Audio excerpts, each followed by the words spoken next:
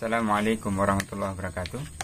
Apa kabar kawan-kawan keluarga petani? Semoga dalam keadaan sehat keadaan Semoga dalam keadaan sehat walafiat.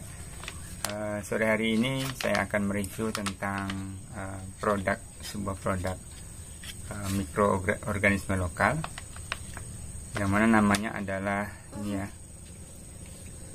Promol 12 Dari HNI HPAI HNI ya Halal Network Internasional yang mana ini gunanya adalah sebagai probiotik penyubur aneka tanaman, kesehatan hewan dan solusi limbah. ini isinya 150 gram. Seperti yang tertera dalam kemasan, kandungan dari promol ini adalah kumpulan dari mikroorganisme lokal ataupun mol yang dapat beradaptasi dengan sempurna untuk lingkungan di Indonesia digunakan sebagai suplemen pakan ternak, pakan ikan, yang bermanfaat pada serapan makanan, pupuk organik pertanian sebagai starter dan mempercepat serta memperbanyak pertumbuhan tanaman dan buah. Juga digunakan untuk perbaikan lingkungan kolam, pengelolaan limbah rumah tangga dan komunal. Sedangkan komposisinya e, meliputi ini ya, Azotobacter paspali, Bacillus firmus, Bacillus pumilus, dan lain sebagainya.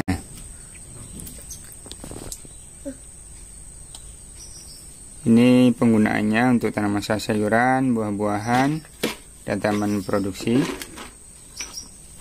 Kegunaannya tertera di sini. Untuk ayam bebek, kambing, sapi, dan ikan dan udang. Ini untuk ini ya, bisa digunakan untuk saluran uh, pada septic tank, saluran dapur, hmm. ataupun pada WC. Yang kemasan 150 gram ini harganya cuma 60 ribuan. Tetapi ini bisa kita berbanyak menjadi 150 liter ya, dicampur dengan 150 liter air.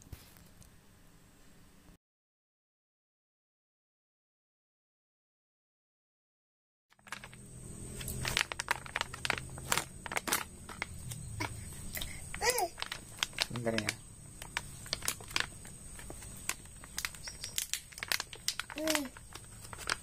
Ini ada perekatnya bisa dilemkan kembali.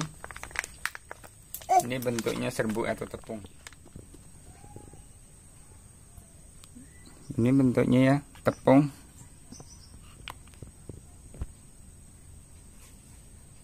Untuk serbuk Selanjutnya kita baca panduan aplikasi Promol 12. Ini ada daftar isinya, ada sampai 8 penggunaan dari Promol 12 ini.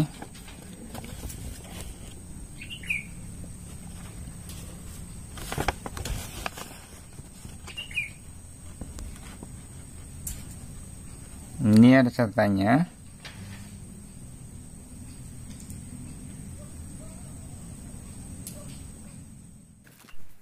Panduan aplikasi yang pertama adalah pembuatan ketika jumlah promolnya 20 gram maka bisa dicampurkan dengan 20 liter air. Nah, jika kemasan 150 gram ini maka bisa digunakan untuk 150 liter air. Sehingga 150 liter probos yang dihasilkan bisa digunakan untuk banyak tanaman atau untuk membuat kompos juga bisa atau yang lainnya. Probos ini bisa digunakan untuk menyiram tanaman encerkan 1 banding 5. Probos untuk menyemprot daun, bunga, dan batang encerkan 1 banding 10. Selanjutnya aplikasi Promol 12 ini yang kedua adalah untuk fermentasi kohe ya kotoran hewan dengan siraman probos. Kohe fermentasi fungsinya untuk ketersediaan unsur hara tanaman yang komplit dan siap pakai. Bahan-bahannya kotoran hewan atau kohe sesuai kebutuhan, air probos dengan perbandingan 1 liter probos dia untuk digunakan 10, 10 kg kohe. Peralatannya media atau tempat untuk fermentasi anaerob kohe, 2 alat pengaduk, 3 penutup kohe fermentasi. Jadi caranya siram kohe dengan air probos lalu aduk secara merata. Kemudian tutup rapat kohe yang sudah disiram probos selama 7 hari. Lebih lama lebih bagus. Selanjutnya jika tanaman sudah ada, taburkan kohe hasil fermentasi pada lahan atau pada pangkal batang. Ya akan diaplikasi lalu siram pakai probos.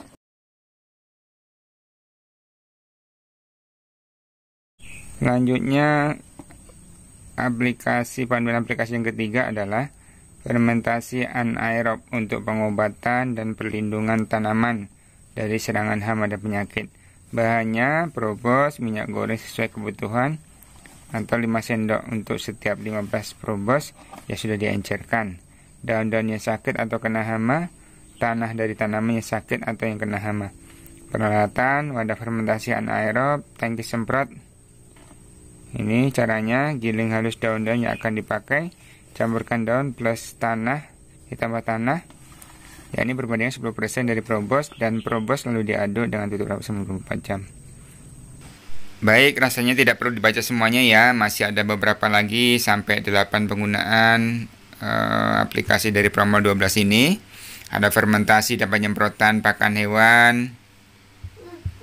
Ada juga untuk larutan limbah dan septic, septic tank untuk pengawet bahan makanan larutan untuk burung dan hewan peliharaan atau juga untuk persiapan air untuk pembesaran benih ikan kolam. Banyak sekali manfaat dari uh, promo 12 ini. Bisa dipraktekkan nantinya. Nah kalau saya lebih ke penggunaan untuk uh, nantinya penyiraman uh, tanaman atau media tanam dan juga untuk fermentasi. Maka insya Allah nanti dalam uh, setelah video ini akan saya upload video tentang pembuatan kompos ya.